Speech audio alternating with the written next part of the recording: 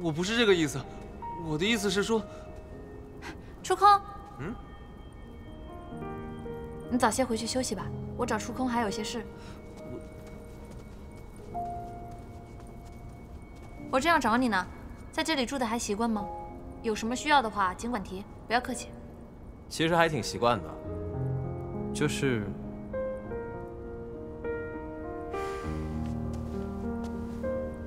每天晚上睡不着的时候，有点想你。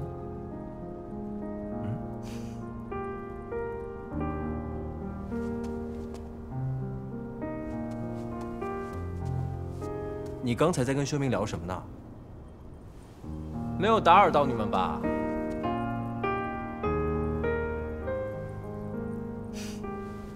修明是来给我送补汤的，我让他日后不用那么麻烦了。这还差不多啊。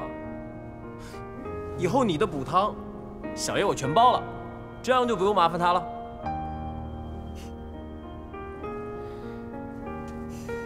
我自小在这长大，自从父皇母后仙允，我就一个人住在这地宫里，空寂的可怕。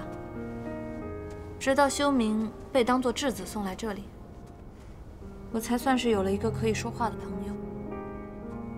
他对我来说，就像家人一样。